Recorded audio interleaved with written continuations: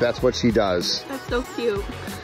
So there's Willow swimming around chasing the fish in our pond. Here's Dawson, Willow's best bud. And here's all the new koi that we picked out today. How fun was that though? It was a blast. It was So, awesome. This is how I spend Father's Day. And these two guys were actually living in the indoor pond at Aqualand. And now they're going to my neighbor's pond because I wanted you to get some personal fish. So these guys will be eating out of your hands within a couple of days. The dogs are loving it, right? Getting used to it. Rex, don't eat the flowers.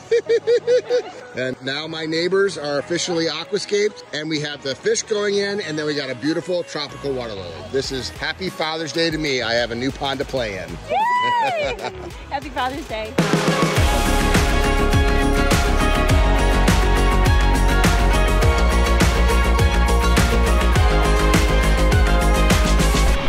Day two, it's me. So the goal today would be to get this waterfall going. So we got to finish up all of the last pieces of it. We've got a sick operator. Say hello, Daniel. Uh-oh. Say hello. Oh, Somehow he got a cold overnight. But look, at we got the rock. Pond's almost done, Ed. You know, and we just got to finish putting up the skimmer in here. And then I think right where Daniel's staying, okay, by the end of the day, do we have the composed granite here? No. Okay, so I'd like to start getting that done, and then of course tomorrow finish all the landscaping. So day two, finish the pond. Day three, finish the landscaping. Let's get started. All right, we maxed out the dingo, so we had to pull the excavator out of the backyard. Now we can set our biggest rock. That's an important rock because that top will be perfect butt rock to sit and feed the fish at.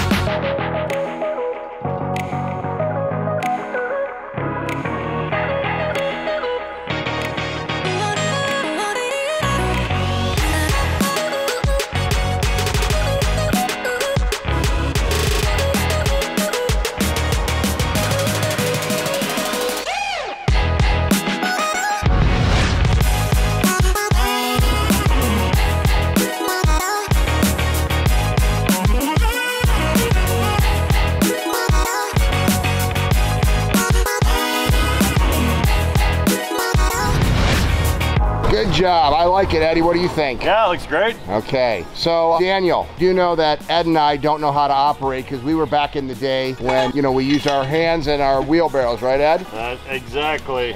Old But you are right. sick, so this is the last rock that you're setting. You know who we've got to replace you? The president of the company. Come on down. You are going home, and uh, Brian is coming out to replace you. Go feel better, okay, bud? All right, sounds good. Good job.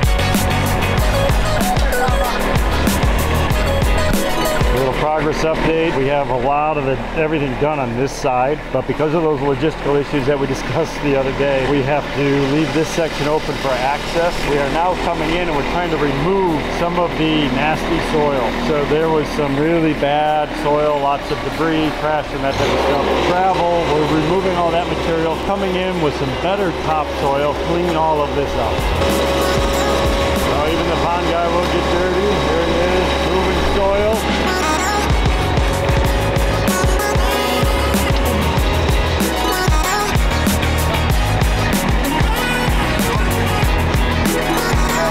Getting down to the final details. That entire side is completed, backfilled, biofalls is set, all that stuff is done around the top. We are working our way out. Last thing we're gonna be doing is setting the skimmer completely backwards than normal project for us, but it was our only option here. What I love about this is the scale of everything. Massive boulders, relatively small property. Next step is gonna be, we had Matt from Wasco coming out. He, he came up with a really cool design for plantings and that will be happening tomorrow. So this will be 100% complete once we pull off this project.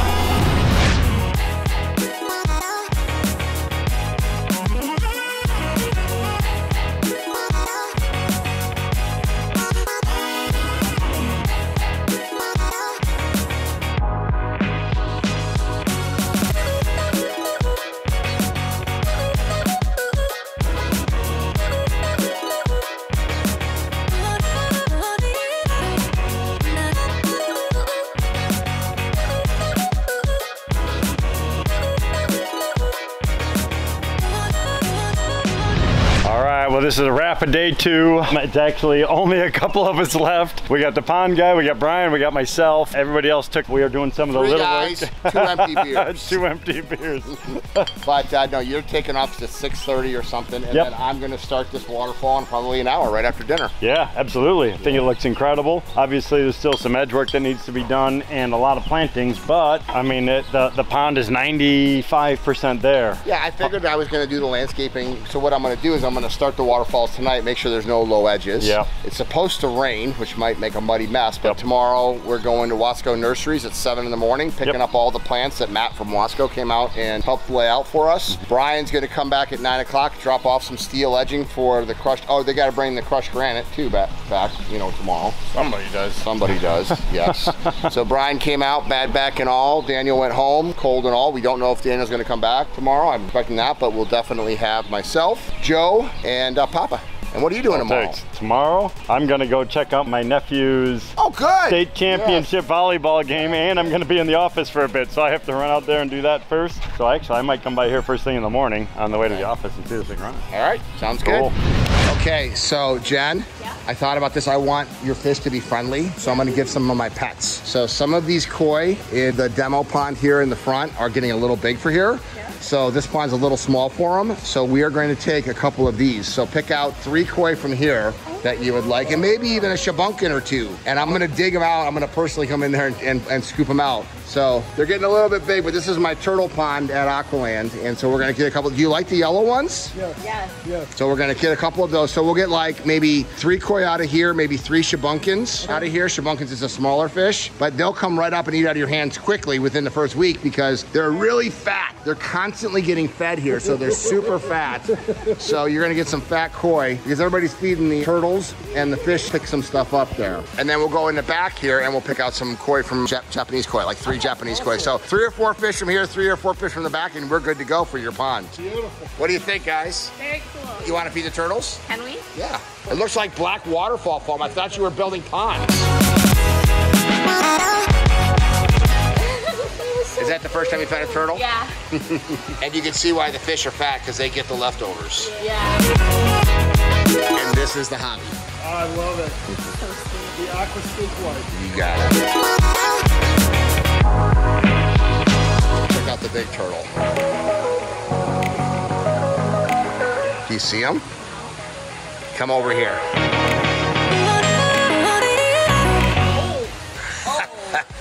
There he is. Oh my goodness. That's a 90 pound alligator snapping turtle named Woody.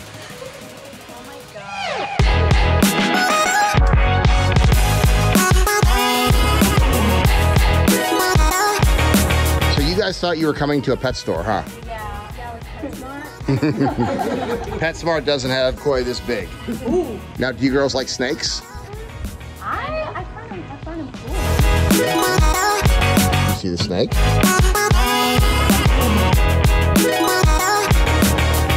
Yeah, very. I, these girls are impressive. So that's a carpet python. Very good, girls. That's oh. impressive. All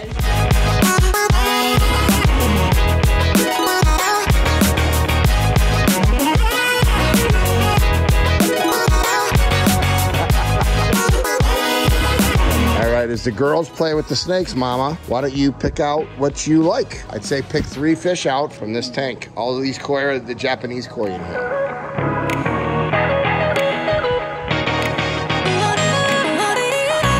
That's the Ginrin, the shiny scales. Yeah. That's the Ginrin. Uh-huh. So you're looking for a pleasing pattern. You're looking for bold colors. You're looking for a good body shape. This is a great one right there. This one. Yep, that's a Kohaku Ginrin. So I love the pattern on it, mm-hmm. and I love the shiny scales. So that's a good fish. But you know, it's a you know, it's it's just. I think he's super cool. so now here's a Doitsu. So it's got scaleless. I like the scaleless too. So you see how it's got a smooth skin, Oh, yeah. and that's part of the hobby is picking out different things. So this is why we bag them up, right, or put them in a, in the bowl. So bowl them up. They kind of look alike. They do. Oh, they look do. alike. And if you're gonna get three different core, you should get three. So pick out of these two which one you like more. Which, Are you girls you decide? Which one? Oh, Jay likes left eye. I like the shinier one. You're right. We should have got a bigger pond. Yeah, we should have gotten a bigger pond, Greg. We look like the shinier one. The one. The one with the Ginrin. Yeah. Okay. This guy, the It's like big a one. Kohaku Ginrin. Big Okay. one? Yeah. Okay. The big one. And what did you like about this one? I like this one because he looks like a bandit. Here, why don't you catch him?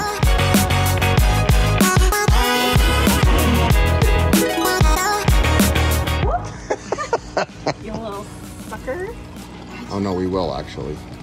There he is. Yeah, that's beautiful. Look, it doesn't look like so a that's a show, I think. It does look like a, with that marking. With The markings, he's got like a. All right, let me get the bowl over here. What we should do is go outside. So these are the imported koi, so they're more Okay. expensive. Okay. So let's go out and get. So we got two Japanese koi. Okay. Let's get a koi from outside, Okay. and then let's get a couple of my personal pets that we can bring over and they'll be instantly eating out of your hands. I love it. So what we're gonna do? Wears a turtle around her neck. Okay.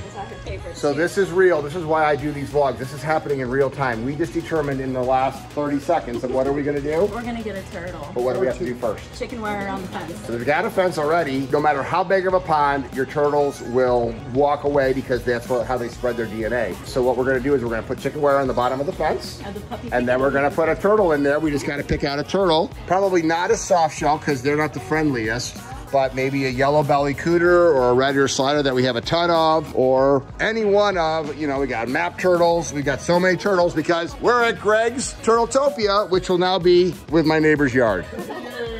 All right, feed them, guys. Just like you did the turtles, same thing.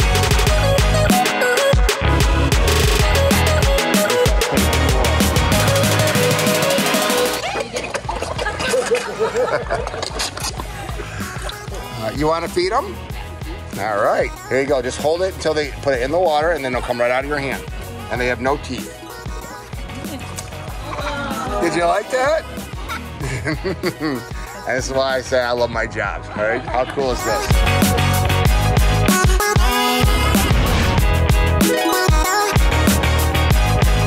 Apricot comet and red comet goldfish. Yeah. But they will multiply.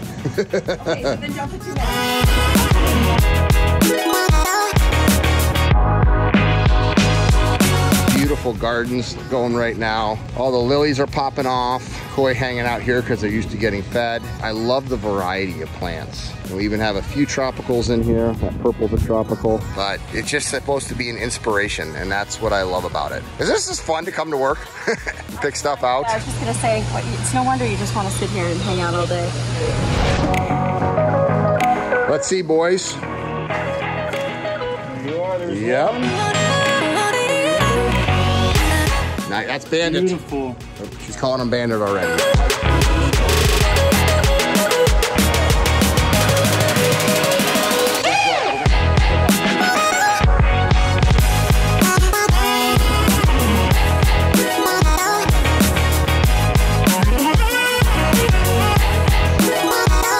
One of the things that I wanted my neighbors to experience was fish that were already trained. So by putting in three or four koi and a couple shubunkins from here, the shubunkins will help train the koi and fish that have been used to eating out of people's hands that are that fat are gonna come right up within the first week and start eating out of their hands, which will make their experience that much more enjoyable with the pond. Next stop, the Savages Pond.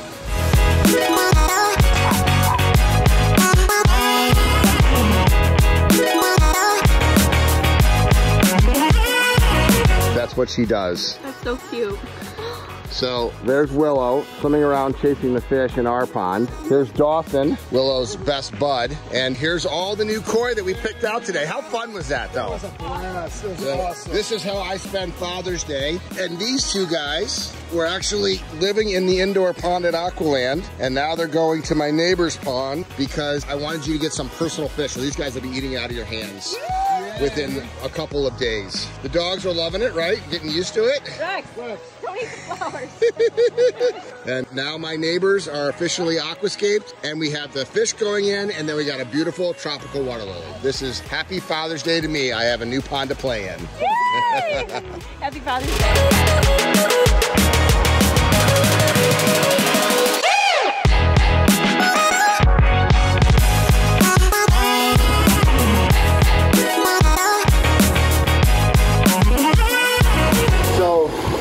Tropical lily that you picked out, which will have like the brighter colors. And it's 27 inches deep, which is like perfect for this. But look at the size of this pot. Come here. The size of this pot. Number one thing that I see when I go on the road is people have their lilies in too small of a container. I not only have this in a big container with Aquascape aquatic plant soil, but I've filled it with fertilizer. So this thing's just gonna take off. This is gonna go from one side, I'm gonna be pulling these leaves out of here in about a month. Wow. And I got the gravel on the top so that the fish don't root around the lilies. If you have koi and they're rooting around in your lilies, you probably don't have gravel throughout the whole pond, so there's nothing for them to root around it. A little bit of dirt. And by tomorrow, the rest of these leaves will have come to the surface. And then it'll just continuously rotate through flowers, especially because it's fertilized. I always fertilize my plants about once a month. Always make sure that I have extra soil in there for them to grow and a bigger container.